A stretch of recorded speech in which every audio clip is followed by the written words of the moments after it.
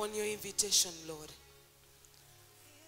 And we thank you so much for your power that breaks every chain, that heals every disease, that changes hearts, Lord, that transforms, that moves mountains, that softens hard hearts. We thank you for that greater power that is released upon us, your chil- your children.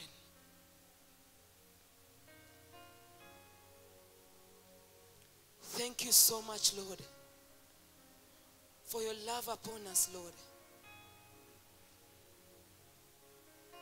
Thank you so much for your anointing. Thank you for the healing. We are better because of you, Lord. Without you, Lord, we are nothing. But with you, Jesus, we are more than victorious. We are able to conquer each and every battle, each and every situation. Thank you for your grace that helps us to preach the gospel. Thank you for your grace that pushes us to do things beyond human understanding. Thank you for the kingly anointing that supports us to sit in higher places because we have you, Lord. Thank you for the worship that draws us closer to you, Lord. And even this morning, we surrender. We invite you to take charge of this service, to take charge. Oh, Holy Spirit, here we are. Hearts prepared, minds alert, ready to listen from you, ready to take, ready to receive what you have prepared for us. Take your place, O Holy Spirit. And may your glory shine. In Jesus' mighty name, we have prayed. Amen and amen. Thank you so much, worship team and the sound team. May God bless you. May He anoint you more to serve Him. Welcome to church today. I hope we are all well. My name is Florence Nsubuga, and I'm so honored to minister to us this morning. It's our English service. As we all know, our first service was for Luganda. So this one is for English. We thank the Lord for what He's doing in this church. Amen. And we thank the Lord for what He's doing in each and every individual life. I believe even though some people don't come to give a testimony, God has done wonderful things. Amen. He has done great things and is still doing them. So we give him all the glory and honor for the testimonies that we've had. And today, this morning, it's a season, a season of great exploits. And today, this morning, I'm going to talk about prayer. Prayer, an essential thing for a church. Prayer, an essential thing for you as an individual. Prayer, an essential thing for us as a corporate church to stand and make our supplications known to God. And as well, wait upon Him, to learn from Him, to listen from Him. Amen? So today I want to use my subject as the prayer shift from self confidence to greater dependence on God. Hallelujah. From self confidence to greater dependence on God. Only through prayer. Praise the Lord. I know when I talk about prayer, some of us think we know these things. We know how to pray. We have prayed every day. We know. Me, I pray five times a day. I even pray. I wake up at 3 a.m. and I pray up to morning. It is okay. It is okay for you to continue praying. And it's okay if you're doing that. But this is what Second Peter chapter 1 verse 12 says. Second Peter chapter 1 verse 12.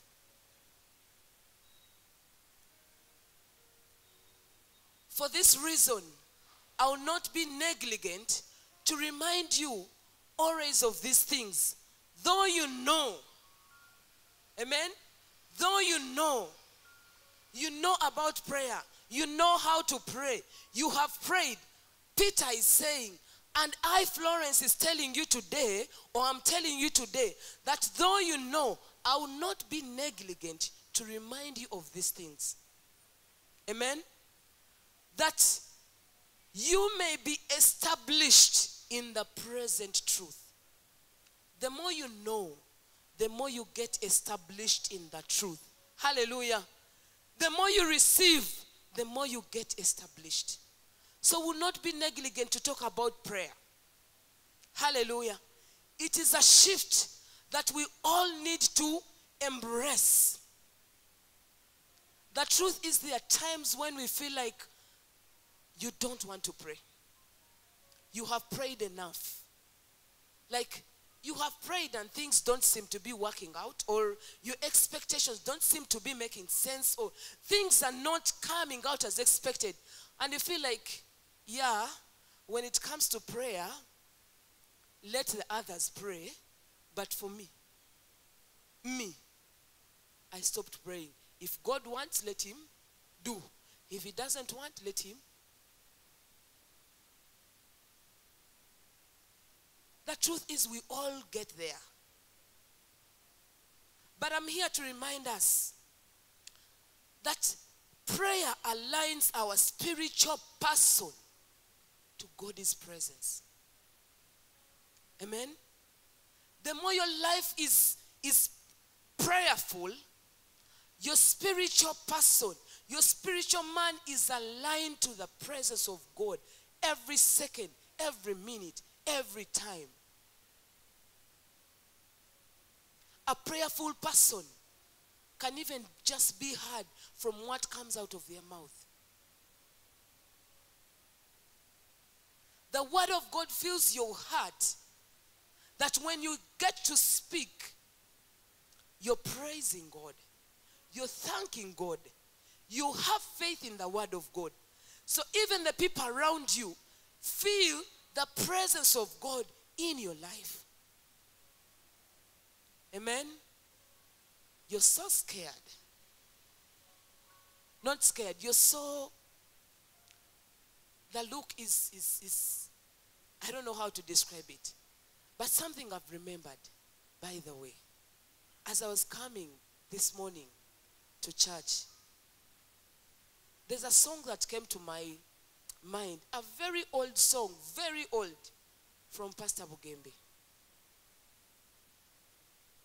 It is a Luganda song that says,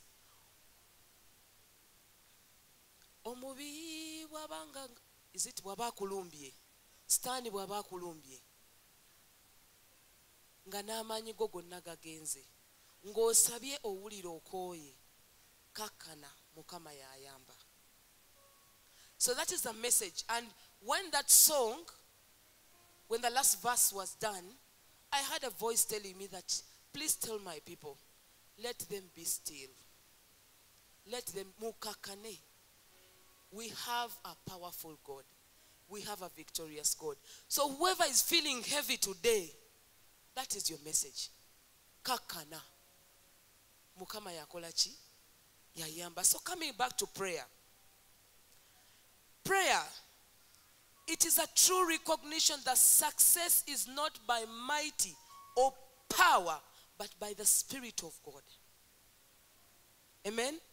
You get to believe that through prayer, my success is not because of my strength, it's not because of what I have put in, but it's because of the power of God. The mighty hand of God that is upon me that is able to do great and mighty things. Amen. Prayer is as simple as talking to God, listening to God. Many times we complicate it. We think for you to pray well, you need to pray in tongues. For a person that prays well, they need to pray for hours and hours and hours. Forgetting that even those simple, simple prayers that we pray, as simple as, Lord, I need help. God listens to those prayers. Amen? So at times, they always announce here on Friday we have a prayer altar. And you're thinking, what am I going to pray? Let those people pray. Let the intercessors go and pray. No. You don't need to be eloquent. You, not, you don't need to be a person that prays so many hours. You don't need to be a person that speaks in tongues. Just come to the throne of God and make your supplications known unto Him. He is a faithful God. He answers all the prayers. Amen. Amen. It is getting ready for you to do the will of God. Many times we go in prayer and you just want to wait for that moment to make your list known unto God. Only no lukalala from 1 up to 30. Let me go to pray. Point number one, point number two, point number three, up to 20. And then the grace of our Lord Jesus Christ, the love of God, the fellowship of the Holy Spirit be with me in Jesus' name. I have prayed. Prayer is not only you making your request known to God, but it's also listening from God. Amen? You need to listen. In fact, the most important moment when you have isolated yourself in prayer, it is that time that God tells you something. But while we, we're in prayer, at times, we are so much taken up by our desires. We are so much taken up by the worries. We are so much taken up by the, you know, things that we want. And we forget to listen to the voice of God. You actually come out complaining. My, when I pray, my prayers are not heard. For me, when I pray, I think someone else needs to lay hands on me to pray for me. For me, when I pray, God doesn't give me answers. God speaks. You only have to listen. Praise the Lord. You only have to listen. And the best way to listen is for you to close your spiritual ears You know, when we are with our friends, in our families, at the workplace, so many voices are speaking. You could be having a conflicting loyalty. You have two things and you need to, make, to decide. You don't know what direction to take. So many voices are coming. This person is telling you take this direction. Another person is telling you do this. Another one is telling you do this. You get confused. The best thing for you to do is to calm down get into prayer and listen. What is God telling you? Amen? Amen, church. It is prayer that is between victory and defeat. It is prayer that bridges that gap. Where you think there's a situation taking control, and there's victory on this other side. It is prayer that bridges the gap. Praise the Lord. Let's look at Exodus chapter 17.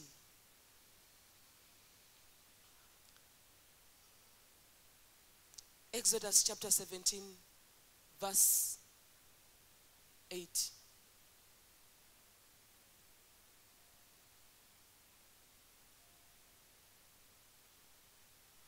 Now, Amalek came and fought with Israel in Rephidim. And Moses said to Joshua, Choose us some men and go out, fight with Amalek. Tomorrow I will stand on the top of the hill with the rod of God in my hand. Verse 10. So Joshua did as Moses said to him and fought with Amalek. And Moses, Aaron, and Hur went up to the top of the hill. Verse 11. And so it was when Moses held up his hand that Israel prevailed. And when he let down his hand, Amalek prevailed. But Moses' hands became heavy. So they took a stone and put it under him, and he sat on it. And Aaron and Hur supported his hands, one on one side and the other on the other side. And his hands were steady until the going down of the sun. 13. So Joshua defeated Amalek and his people with the edge of the sword. It is prayer that was between defeat and victory. The Amalek, Amalek, Amalekites came to fight the children of Israel. And because Moses believed in the mighty God, he identified men. There was a lot of teamwork. He looked at his leaders. He met, told Joshua, go and lead the team to the battle. I'll go to the mountain and pray. Someone stood on the hill and raised up his hands to the mighty God. And the Bible says that each time he rose his hands up, they won the battle. When he puts his hand down, the Amalekites were defeating. So Aaron and Hur, who were on the side, they had to hold his hands so that he continues in prayer. Praise the Lord. At times we need people on the side, on the left, on the side to hold us up when we are praying. Sometimes you feel like you're growing weary. You feel like you're tired. You feel like you cannot do it anymore. But yet, victory is just in your presence. Praise the Lord. That is why we need prayer partners. When you feel like you're tired, a friend comes in, Nagamba, no, we cannot, you know, we cannot get defeated. Let's rise up in prayer. Let's go fast. We need to stand. And this is what we need to do as a church. We should not leave prayer to only the intercessors. And we say, ah, there's a team of intercessors, the ladies. They will do the prayer. For us, we shall go and wait for victory. No, we will not settle for less. It is time for us to rise up as C3 Kazo and we get hold of ourselves. One, a group of people on the left, another team on the right. One person stands up, or two people, three people go to the mountain. We all join in prayer and rise up against the enemy that is reigning in this place. Amen. There's no way we can preach the gospel in this place unless we have overcome the powers of darkness up to down. And that can only be done through prayer. Praise the Lord. But what is interesting is prayer starts from you before it goes to the church, before it goes to the corporate body. It starts with you. If your prayer life is sagging, if your prayer life is very unstable, Trust me, even when you join a group of people, you will cause chaos. Have you seen such people at school? You would see a person you had your friendship, and when this other third party joins the friendship, everything is just, it goes a mess. Praise the Lord. So you don't need to accept to be that person. You're going to stand as an individual and rise up in prayer and say, you know what? Enough is enough. I don't need to get tired because the devil is not tired. Amen. I always hear people say that when a, person goes to a witchcraft, uh, to a witch doctor, they always give them instructions.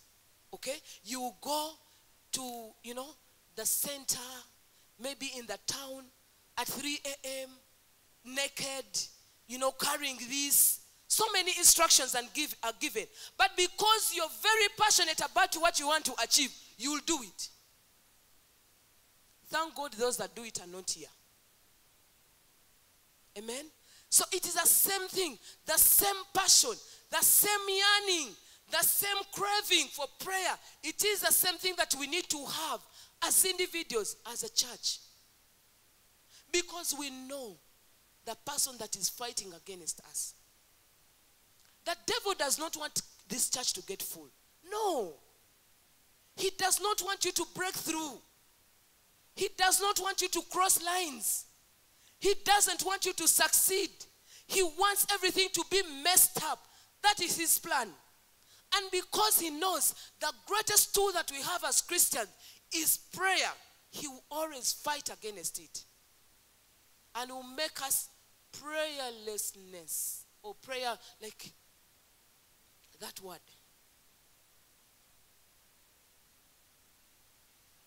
Will become weak.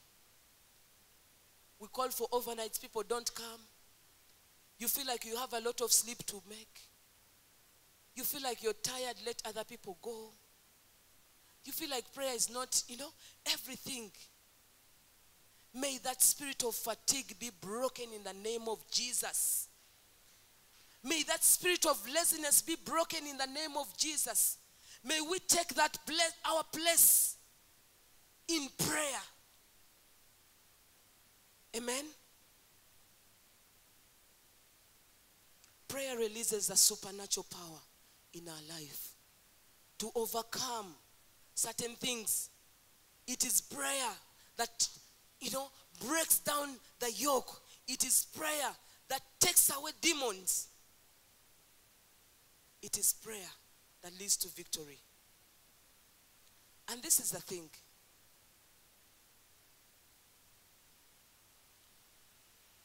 God does not want you to simply just tell him what you want him to do for you.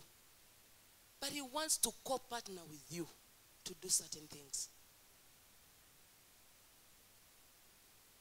God wants to co-partner with you. He wants to work with you through you to do certain things. And he can only communicate to you through prayer.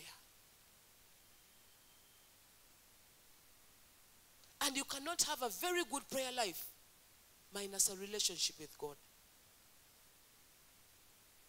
So it starts from having a relationship. Then you go to prayer. Then you read the Word of God. The word of, the word of God is full in your heart. Your cup overflows. That when you speak, you speak prophecy. When you speak, you speak life. When you speak, you create. When you speak, mountains move. When you lay hands on the sick, they are indeed healed. Amen. Prayer unlocks the keys of heaven and closes the gates of hell.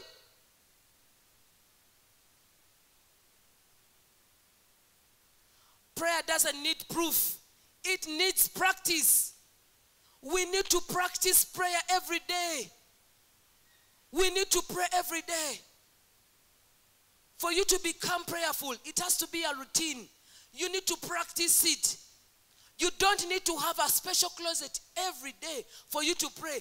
Even when you're in the toilet, even when you're on the move, even when you're in the office, even when you're in the kitchen, pray. Because it's a communication. God is communicating to you, and you are communicating to, to Him. It is a communication. Prayer needs practice. It is not just a matter of showing proof that I prayed. No.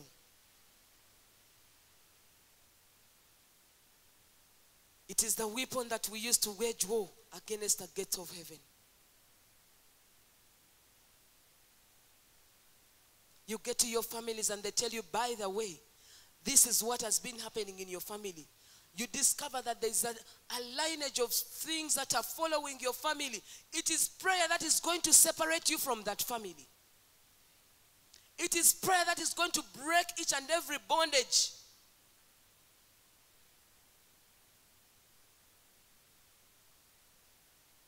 It is prayer that is going to turn around things. At times we don't even know solutions. We don't even know how it's going to work out. But God works amazingly through prayer because we are co-partnering with him in this. We communicate, Lord, this is what we need. Lord, we need your intervention in this matter. It is through prayer that we move from the self confidence where you think like you can do things on your own, where you think like it's through your effort that things can actually change to a greater dependence on God. I am telling you, it is not easy, but there should be a shift right now. It is not easy. At times you want things, you want to first see things so that you believe. You want to first see things work out and then you can believe and say, okay, now it's going to work out. You may not be able to see the things. Just pray and believe God. And depend, put your dependence on that mighty God that changes things, that does wonders through prayer. Praise the Lord. Praise the Lord, church. It is through prayer that we rise our needs above the needs. Amen. Prayer rises our needs beyond the need, the needs.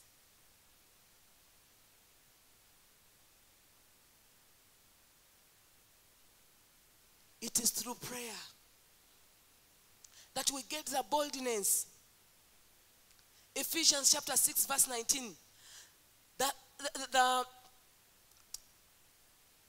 the disciples, they went in prayer. And the Bible says, through prayer, they got boldness and confidence to preach the gospel.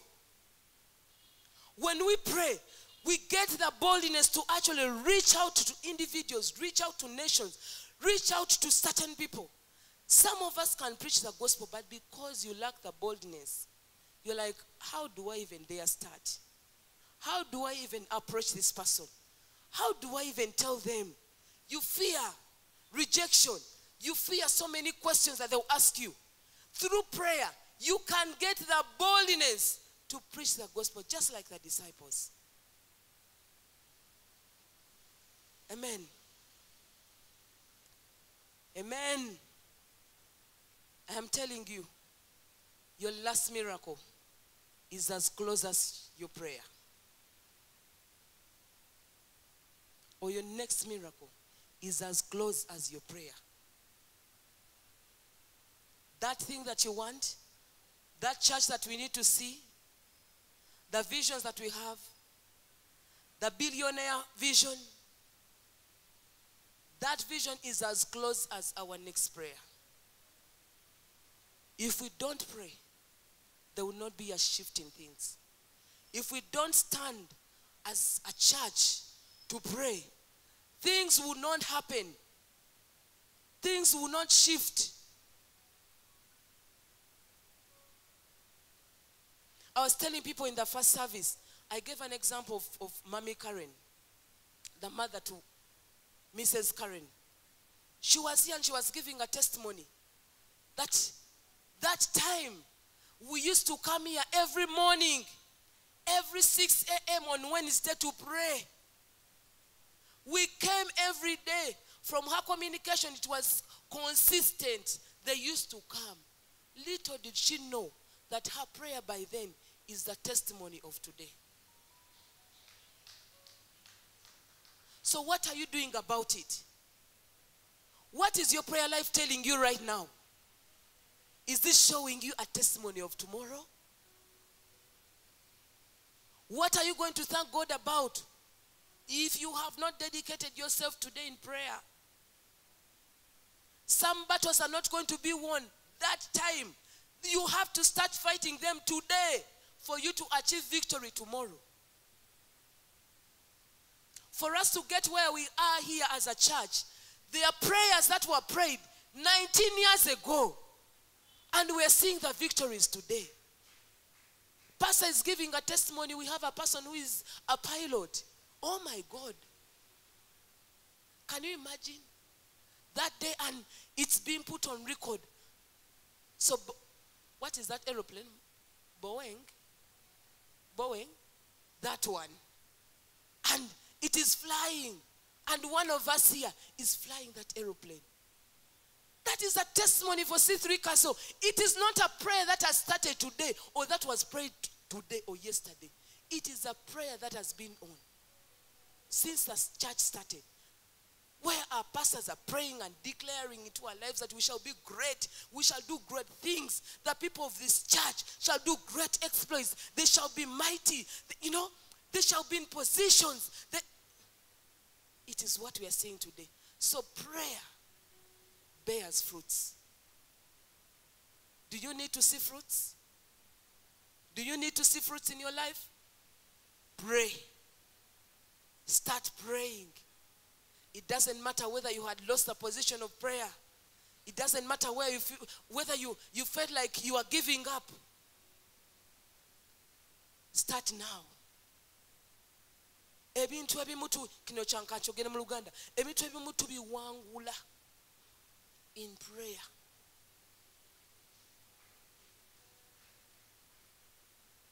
Mothers who are here can witness. You start declaring and laying hands on your children even when they are young. I speak a blessing upon you children. You shall be heads not tails. You shall lead you know. You shall be great men. You shall be great ladies you know, you shall be ministers of God. We speak a blessing upon our children. So when they happen, indeed it is prayer that planted that seed. If you do not have prayer, or if you don't pray, it means your soil is empty. There's nothing you're planting. So if you want to cultivate, if you want to get a fruit after some time, then you need to sow a seed in the ground, and that seed is prayer. Hallelujah. We need to move from self confidence to a greater dependence on God and have a prayer shift. What do we need to do as a church? We need to raise our desire. Our desire has gone low.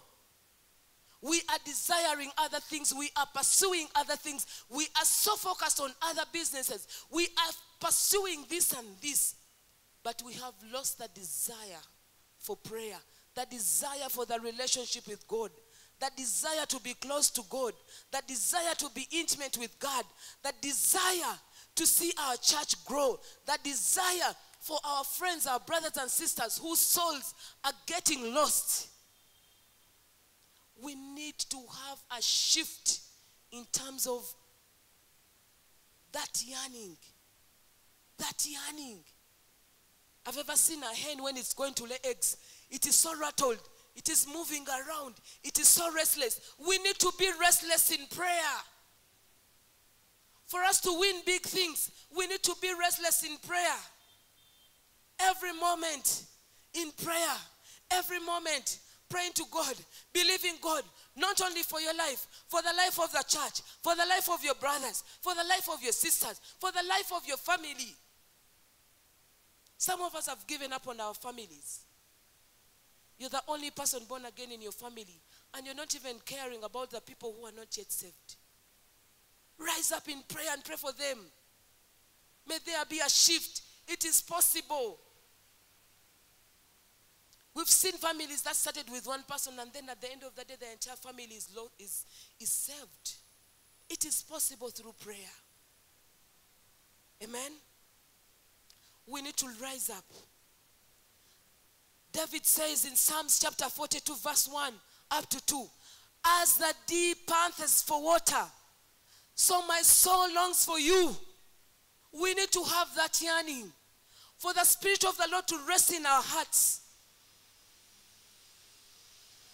so that we pray, so that we do the will of God, so that we walk in faith and believe. Secondly, we need to be persistent. we need to be persistent. It's never going to be easy. You're going to start and fall. You're going to start and stop. You're going to start, people will make you lose the energy.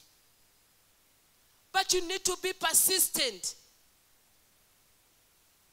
We have so many examples in the Bible. Look at Sarah, look at Hannah, how they prayed and believed God. They were persistent in prayer, and indeed, prayer changed things.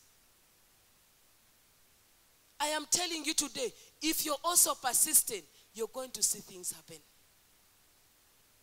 Don't give up. The truth is, the trials are too many, the challenges are too many. At times, we compare ourselves to other people, and you feel like your life should be like the life of the rest. No. Wait upon the Lord. He will make things beautiful in His time. Be patient in prayer. Kale, it is better for you to wait in prayer than wait without nothing. Because waiting without nothing is giving up. You say, I've given up, there's nothing much I can do. But when we wait in prayer, the grace is sufficient to hold you until that day when what you're praying for is fulfilled. The third thing, let faith be faith. We all know that faith is a substance of things that are hoped for, things that you don't believe, things that you don't even know how they're going to come. Pastor is here talking about the billionaires, and they're thinking, who are those billion? Can people become billionaires? And they're thinking, me? Me? To become a billionaire? Now that is not faith. Faith has to be faith. Believe and believe and believe. Even when it's unbelievable, believe.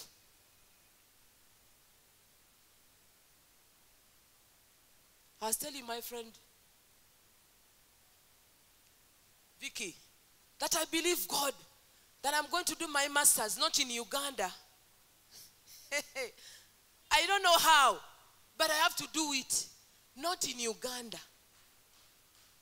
I have faith. I don't know how, but it's going to happen, and I will testify on this pulpit. We have faith that we're going to build that church. We have faith that we're buying this land. We have faith that we're expanding. How? We don't know. But we have faith in the greater God. So let faith be faith, not have faith. Sometimes you believe.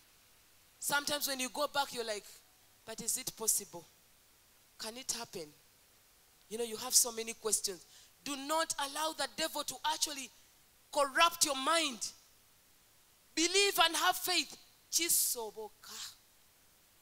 The God that did it for everyone in the Bible, mighty men that testify, testimony after testimony. He is our same God. He is our Father. He's so loving. He knows you by name. You're not so different from these people. He can still do for you. He can still do for us as a church. What we just need to do is to rise up again and pray. Hallelujah. And lastly,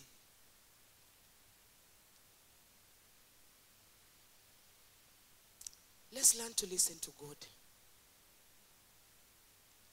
Let's learn to listen. At times we go before God, and once you've laid down all your points, you're quickly rushing to actually get out of that place. You end up missing on the revelation. Let's learn to uh, listen to, to, to God. Like I mentioned, so many voices are speaking. Listen, I mean, learn to discern spirits. Learn to discern. Be obedient. If God tells you, in as much as you need a job and the job has come, the dream job, listen. If He says, do not go for that job, do not go. Amen. It is my humble prayer today as a church, as, wake up, as we stand up on our feet. It is my humble prayer today that as a church, Let there be a shift in prayer. Let us rise up as the corporate body of Christ. Let us get energized again. Pastors announced that we are going to be here every Friday to pray. Do not give any excuse. Just come. Just come. You don't know whether God is going to use you to speak a word into someone's life. You don't know whether the next answer that you all needed is going to be given to you during that time when you're praying. The same way we don't give excuses at work. We should dedicate ourselves for God to use us, for God to speak to us, for God to do mighty things through prayer. Is there anyone that needs a miracle? Can I see those, ones, those that need a miracle right now? Your miracle is just next to you. Just pray. Lift up those hands and we pray. Father, Lord, I dedicate your children into your hands, King of glory. What you have given me, Lord, I have shared. I welcome you, Holy Spirit, to settle each and every person's heart, King of glory. You know where to convict, you know where to correct, you know where to energize, you know where to rise, to raise up. It is my humble prayer that you may meet each and every person, depending on their state, depending on their need, depending on everything, Lord. You're calling us up to right now, King of Glory, to rise up in prayer. The Bible says that we, we lack what we pray for because we don't know how to pray. We come before you, our Father. May you teach us how to pray.